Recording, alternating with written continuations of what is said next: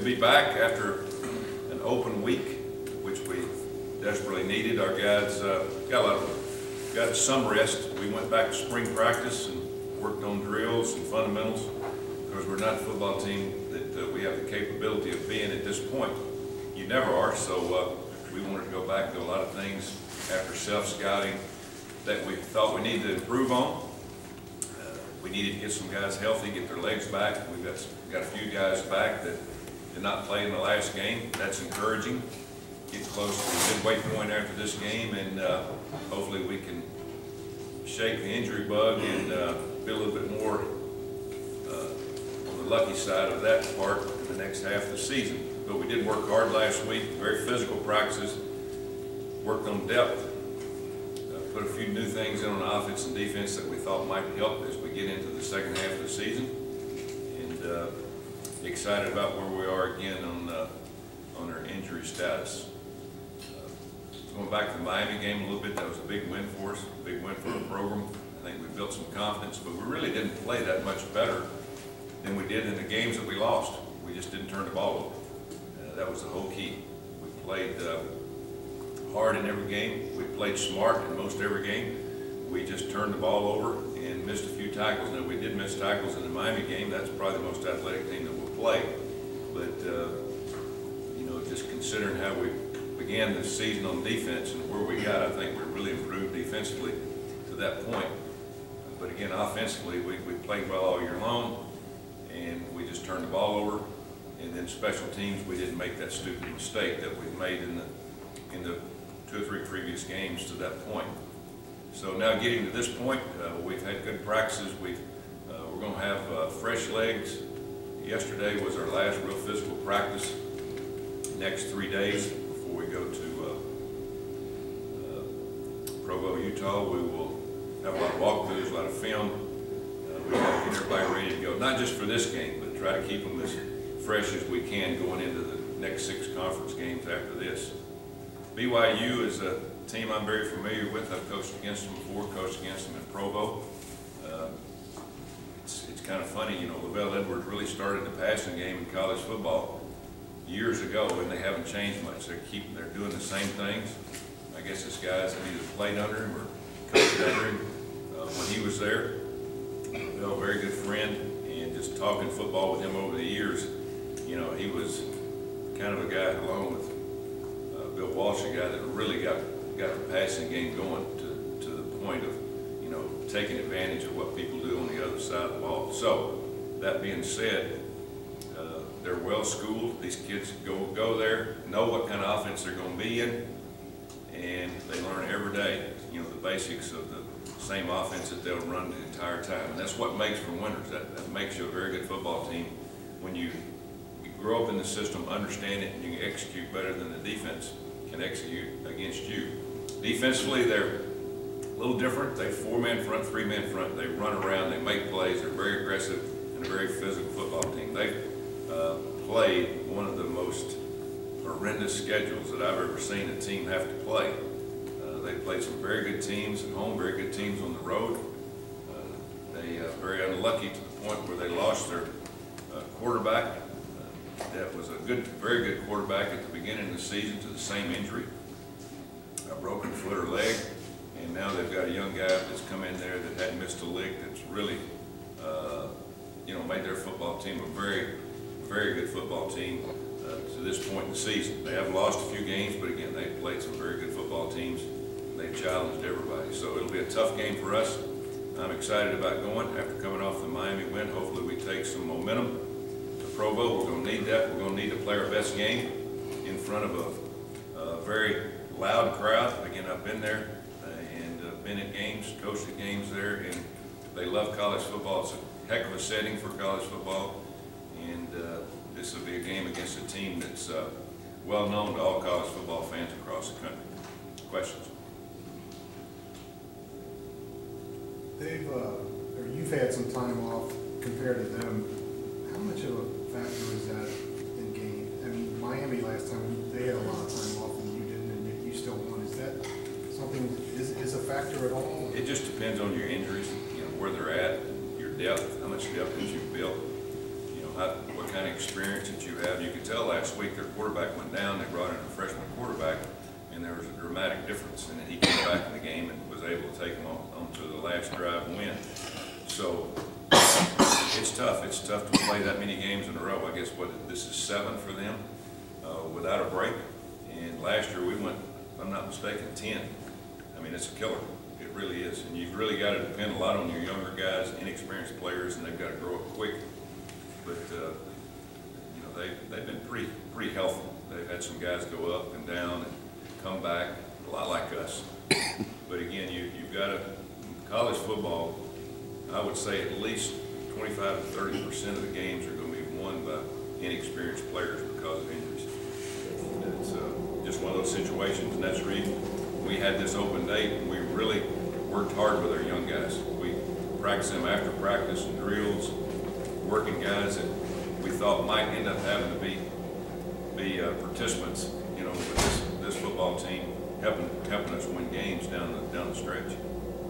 Whether you're willing to share that, share this with us or not, if you've had your last really hard practice, do you have a better handle who's gonna play quarterback? Oh, you know, it's pretty much even. You know, I- there's not a lot of difference. Gunner just got cleared on Sunday. Uh, He didn't have the practices at Hayden. I hadn't decided yet who'll be the starting quarterback uh, to this point. Probably won't do that each week because now I feel good about both guys. Uh, Our players will know who'll be the starting quarterback at the beginning of the week. I don't believe in, you know, guys going back and forth, one offensive line, two offensive line.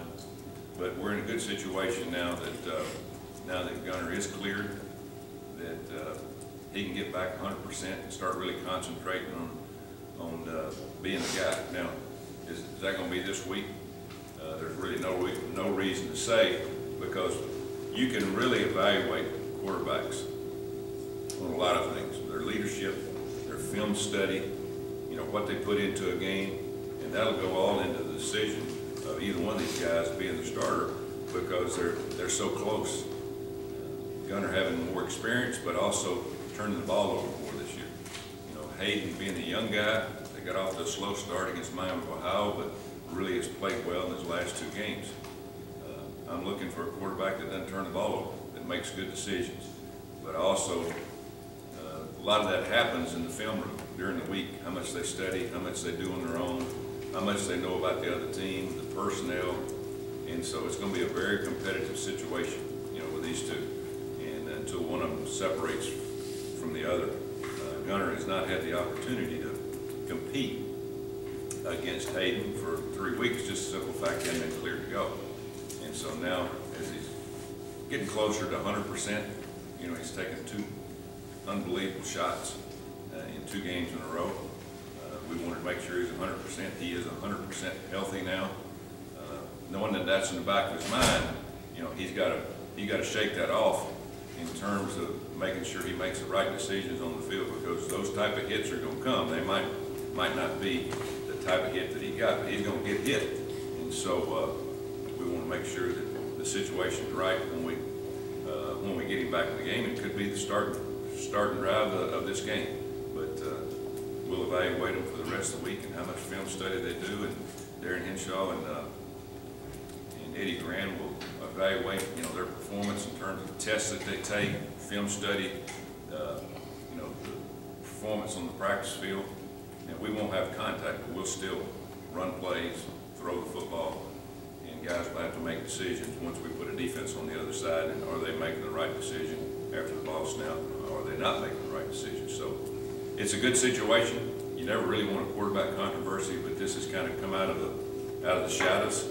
Uh, it's not something that we planned, but it is what it is, good shape knowing we've got two guys that we feel good about, uh, about taking this football team to the next level. So are you saying you might use a different guy every week, or is that something you really want to avoid? Well, unless one of them distinguishes themselves from the other, uh, you know, we, again, they will practice as whoever's number one will start at the beginning of the week and be the number one quarterback. And if somebody goes in and does much better, you know, Gunner's a guy that we know what he can do. Uh, We know the, he can handle the team. Again, the problem is, you know, we've all got memories of, what, four or five interceptions in the Temple game and, and the touchdown you know, for seven points in the Memphis game. We can't do, we can't do that. And Hayden has not done that to this point. And, uh, you know, but we want each, each one of them to make each other better, simply by com- being competitive and encouraging each other to, to help this football team win games. How much is it gonna help having Mike Boone back? Oh, well, it's hard to play three running backs. It really is, to get in kind of a rhythm. But with a running back like Mike that's fresh, the legs are fresh, I mean, he looks totally different out on the field than the other guys because they've had to carry the load.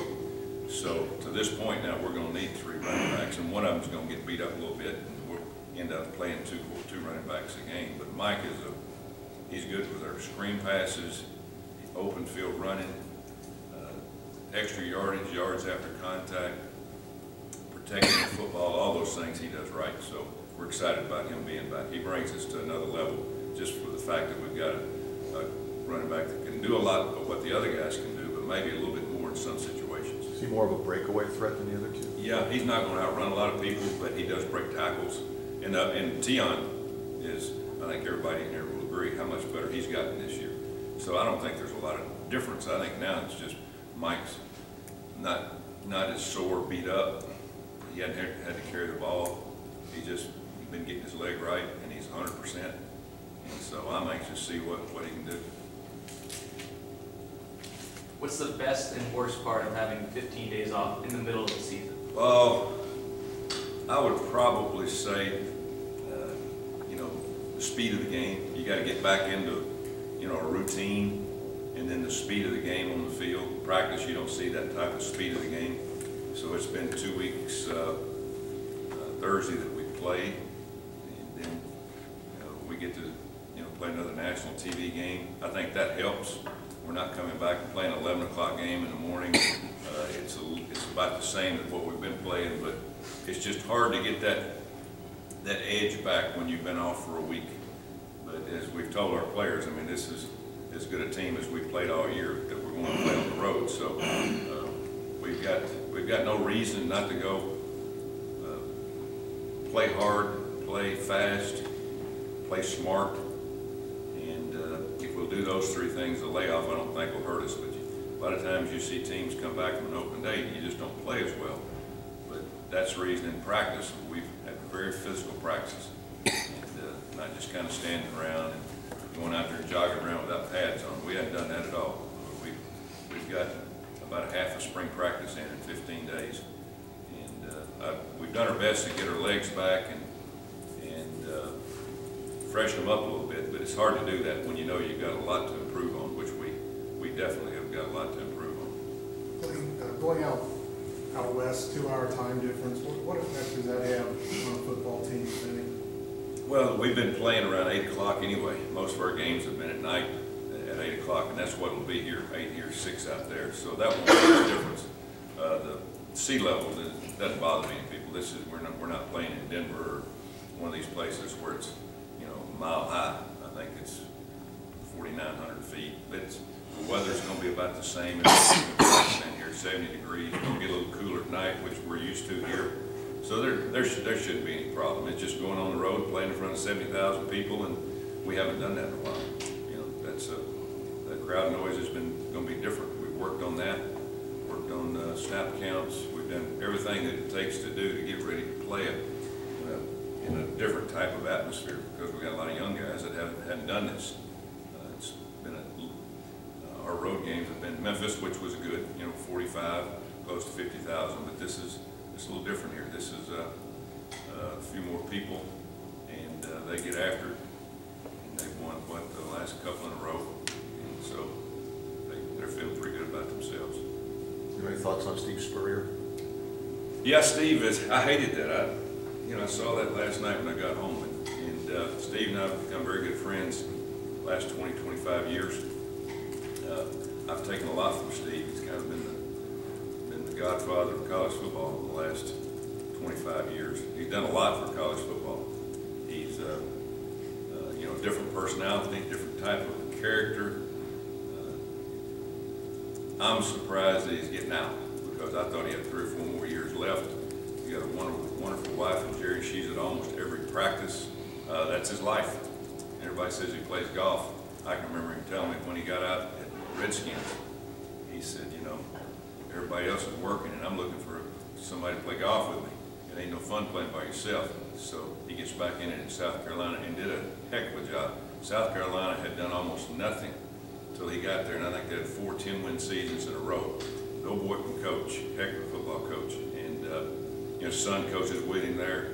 So a little bit surprised, you know, at this point, this time of the year, this point in the season. I know they didn't have a good, good record going, but uh, I've seen him do a lot of things uh, in football.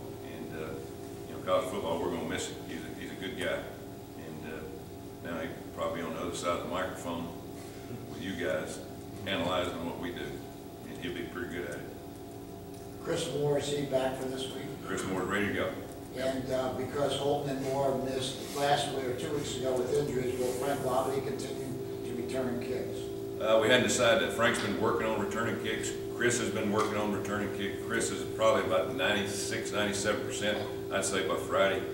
Uh, you know, he just had an ankle sprain. When you have that during the season, you're never gonna be hundred percent if you get off of it for a month, month and a half. Uh, so, but he's ready to go. Uh, Johnny's 90, 95 percent, gets better every day. He's been practicing, running routes. Uh, We're, we're as close to what we were at the beginning of the season, except for the guys like Queedy that's out, guys that have had surgery. So, uh, with Gunner back, and those two guys back, Michael Boone being back, uh, you know, we, we feel a lot better, a lot better about our situation. Going into the Miami game was serious. Um, we were really down the guys that, uh, Frank was having to play, no kickoff returner, having to play backup, uh, and having to depend on, uh, a couple of guys that hadn't played much at wide receiver.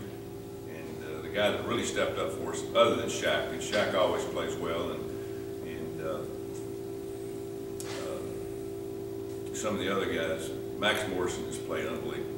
I mean, he's been, he's been our guy this year that's, you know, when the clutch is there, he stepped up and made the play, and along with Shaq and the other guys, but it's just been good to see Max play like he's played. And, uh, uh, you know, he's had to play more reps because of guys with injuries, and he got a little beat up. I he needed the rest, but he's hundred percent now ready to go. Coach, wanted to follow up one more on the quarterbacks. Um, With Gunner, there was so much expectation at the start of the year that he could have this great season, maybe be Heisman, dark horse, that kind of thing. Obviously, hasn't gone the way he planned with the hits and now competition with a younger guy. How's he handling all this? You spend a lot of time around him. How's he taking all this? Not very well, and he shouldn't, because he's a quarterback. And, uh, you know, I expect him to be very competitive and, you know, coach, when I, I, you know, I gotta get back in there and, and, and as I told him after, you know, the first week, you know, that was his decision. Uh, second one, it was mine, and we were gonna make sure his health was there. So he was, uh, he was kinda sidelined for two weeks, didn't get to throw much, didn't get, didn't get to do much of anything, not knowing, you know, what was gonna happen in the future. And then, of course, now he's back, just discounting what Hayden has done and the point where he's gotten us to. He's fighting. I mean, he, and, and he's that type of person. And, uh, he wants that shot. He wants to get in there at any time, whether it's a backup, whether it's a starter. He wants to prove that those turnovers, you know, he's past that, and that's what I talked about. You know, the throwing and all those things, that's Eddie Gran. Turnovers, that, that goes in my my category as head coach, because you can't win turning the ball, doing it to somebody else. Looking at receivers, you gotta look them off, you gotta do a better job of acting as a quarterback. And so he's worked on all those things, he understands it, and, uh, he's very competitive, he wants to be the starter this week. He's working very hard to be the starter, so we'll see what happens as we, we go through the next few days.